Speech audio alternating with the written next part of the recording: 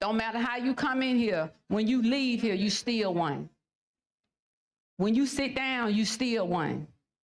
When you get up, you still one. When you go to bed at night, you still one. When you look in the mirror at yourself, you still one. That's the story of OJ. Light skinned, dark skinned, you still one. You're going to always be one when you walk up in here. And every day you wake up, don't you ever forget that. Hey folks, Dale Jackson here for Yellowhammer Now. An embarrassing update from the Alabama legislature today.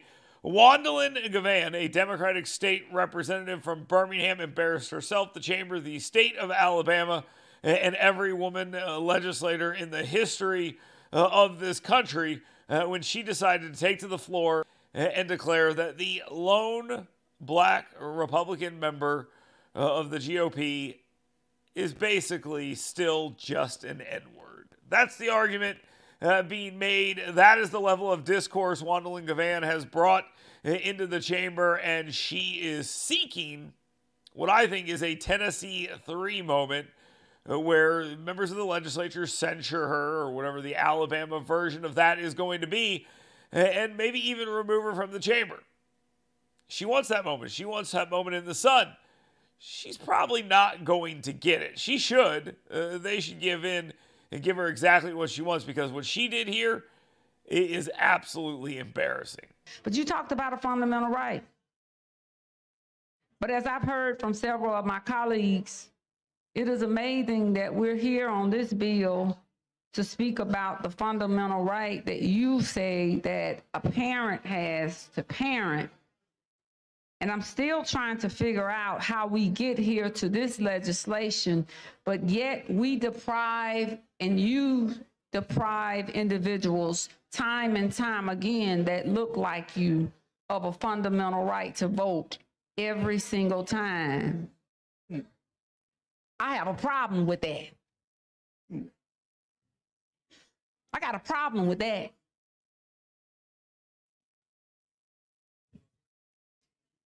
People who died for the fundamental right to vote. Two weeks ago, the handicapped, the blind, the least of these came before a committee. Black folks, white and Republicans, for a fundamental right to vote. Denied. Not only denied, but they were denied by you. But yet we are here today because of a personal situation that you've been fighting since I've been knowing you, before even before the legislature. But you would come here and ill appropriately quote the Constitution and law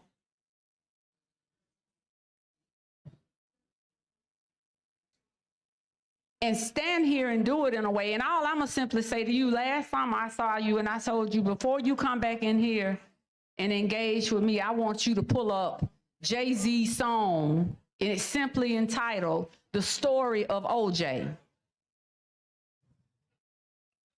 Anybody in here now, I want y'all to Google the story of OJ. It's a song.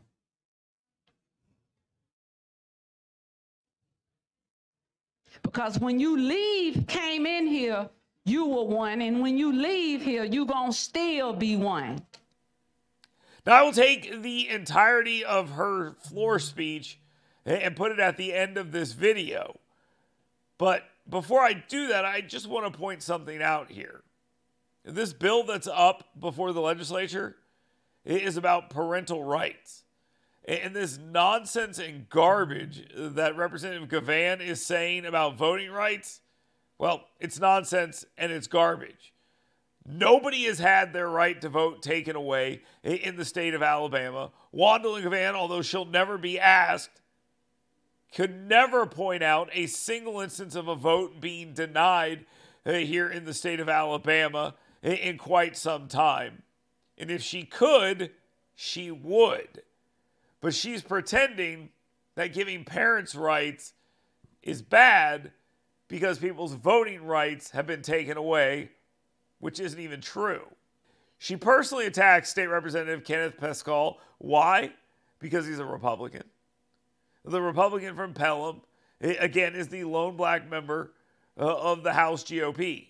And if the roles are reversed here and this kind of stuff was said to her, the world would burn. But because we live in a world where Democrats can pretty much do whatever they want because damn Democrats got it good, it really doesn't matter what Juandalynn Givan does. She can talk things to death, and she has. She's good at her job. I, I know she sounds like an absolute fool, but you heard her. She's a licensed lawyer. She knows what she's doing here. It would be easy to dismiss her as a clown and an idiot for the way she talks, for the things she says, for how absolutely ignorant she behaves. But that would be a mistake. She is effective. They killed the bill that they were discussing because of stuff like this. And that's on Alabama Republicans. Chris Pringle, who was overseeing the chamber at the time, he could have stopped this and chose not to. Now, he can make that judgment call as to why he didn't do that. Fine. And the other Republicans in the chamber can make the call as to why they're not going to punish her for that. And that's fine. But this kind of behavior would never be tolerated by a Republican towards Givan. Black, white, male, female would not matter. It would never be tolerated. And if she is not punished and she is not given the Tennessee 3 moment that she seeks so badly, it just goes to show that they are afraid. They are afraid of pushing conservative legislation. They are afraid of holding members accountable for the things they say and do. They are afraid. And until Republicans in this state are not afraid of their donors, of their opponents, of the media, uh, we will not get real conservative legislation passed in this state that does good things for children and for the people of this state. This session, we have watched as tax cuts that were supposed to come have been smaller than they said. Rebates that were supposed to come are smaller than they say. School choice isn't even close to happening. Parental rights can't get done. Uh, a ban on ESG spending by the state of Alabama can't get done. But we can talk about what a $200 million state house. Okay, sure. If that's what you think voters voted for when they sent an overwhelming super majority back to the Alabama legislature, just keep doing what you want. Eventually, people are going to have enough of this.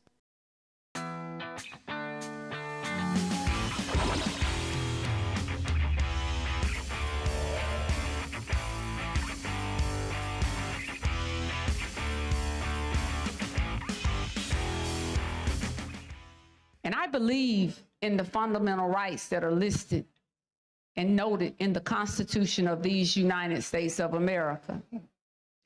And as I state every time I take this microphone, when I stand here, I stand for the people who duly elected me into office. And if I never get a bill out, I'm okay, I'll come back. But I'm blessed to be able to move legislation here and have been able to do so even through the harshest and hardest of times. But you talked about a fundamental right. But as I've heard from several of my colleagues, it is amazing that we're here on this bill to speak about the fundamental right that you say that a parent has to parent. And I'm still trying to figure out how we get here to this legislation, but yet we deprive and you deprive individuals time and time again that look like you of a fundamental right to vote every single time. I have a problem with that. I got a problem with that.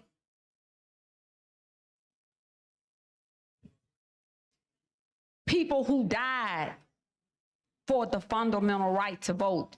Two weeks ago, the handicapped, the blind, the least of these came before a committee. black folks, white and Republicans, for a fundamental right to vote. Denied. Not only denied, but they were denied by you. But yet we are here today because of a personal situation that you've been fighting since I've been knowing you, before even before the legislature. But you would come here and ill appropriately quote the Constitution and law.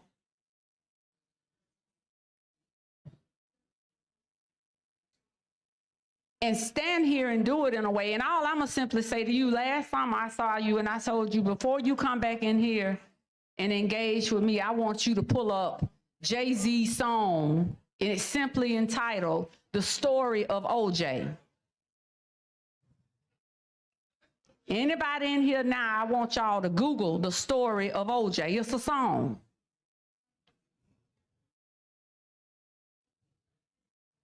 Because when you leave, came in here, you were one, and when you leave here, you're gonna still be one. However you look at it and however you choose it. But a fundamental right today should be given to all people. Not because we're here today because of a situation that occurred between a marriage that went bad. A fundamental right should be owed to a person who is blind and cannot see and simply wants to be able to, to, to simply vote. A fundamental right should be given to that person who shouldn't have to take $56 out of his pocket to pay for an Uber to take him to the polls to vote. That's the purpose of a fundamental right.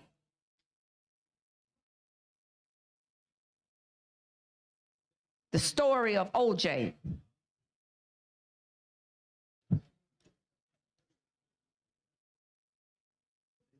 And I'm unapologetic in here today for anything that I may say.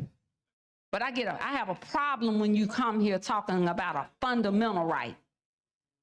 When all you do is take away and attempt to strip away the rights of those who so, so de- much depend on us coming here today, and all of those people who died and bled for you to even be in here, to stand here in this well today whether it be in the party you're in or any other party.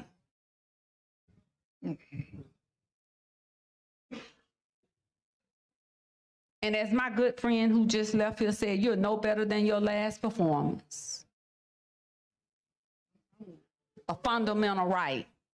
Uh, uh, I'm gonna reclaim every bit of my time. Mr. Mr. And it Chairman. is germane to this bill because I'm talking about a fundamental right and I haven't stepped not outside not one boundary. I'm talking about fundamental rights. You started talking about the Constitution. I'm talking about a fundamental right. And the last time I checked, the Alabama State Bar license me every year, October 1 through October 1 to practice law here in good standing. And the last I checked, I was licensed this past October, and I just believe today was what? May 2nd, 2023. Fundamental right. Talking about liberty in the bill, a fundamental right. To deny one person, but yet you look for someone to give you every right for custody, control, the right to upbring your child, the right to participate in the education of your child, the right to, to, to be considered a fit parent, the right to be able to direct in all of the care of your child and upbringing. A fundamental right. Well, the last time I checked, here again, the fundamental right to vote was still a part of these issues that we deal with every day. The fundamental right to free speech, a fundamental right to a trial by jury, the protection against self-incrimination, the protection against unreasonable seizures, the protection against That is what we come here and we fight for every day in this house. Those are the fundamental rights that I'm concerned about. I'm concerned about the fundamental rights that are also noted, that are listed.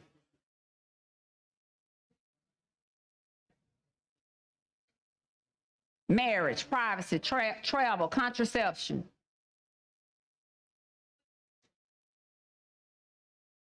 Again, I leave this, this dais without having to say anything.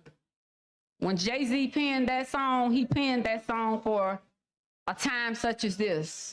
Mm-hmm. You want me to sing it? Cause I, you know, I don't have a problem with. It. I can stand by anything I say. But I think it's enough people in here today that googled it. If Mike Casey in here, Mike, I hope you get the sound bite off of it. The story of OJ.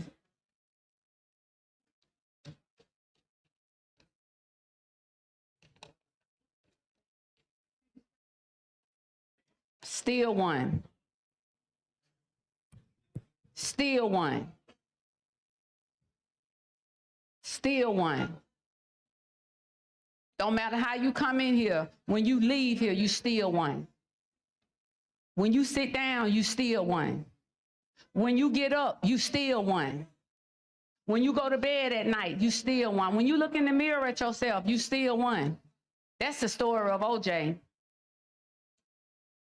Light skinned, dark skinned, you still one. You're going to always be one when you walk up in here. And every day you wake up, don't you ever forget that.